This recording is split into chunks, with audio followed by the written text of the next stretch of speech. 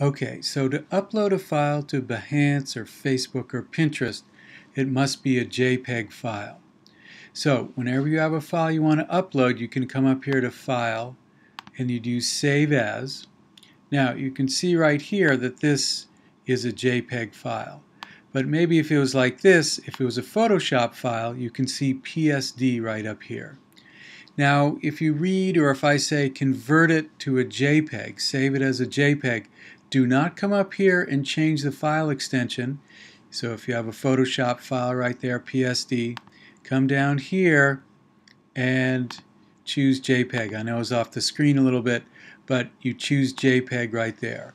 Now when you rename the file, I'm just going to call this test.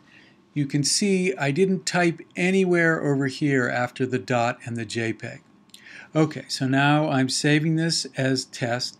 Now it's off the screen, but I think you'll see in the lower right corner, uh, if you're doing it, you click the Save button, and I want to replace that file that already exists. And if I come over here with JPEG options, if I hover my cursor, you can see it's 6.2 megabytes. That's the size of my file. Now, sometimes when you upload to Behance, you might get that little red warning bar file size too large, maximum file size 5 megabytes. So if I come over here to my slider, I can compress the file more, making it smaller. See right there, it's 2.4 megabytes. Maybe I don't want to go that small. And right now it's 3.7 megabytes. And then I click OK. And I have a JPEG file that I can upload to Pinterest, Facebook, or Behance, and it's less than 5 megabytes.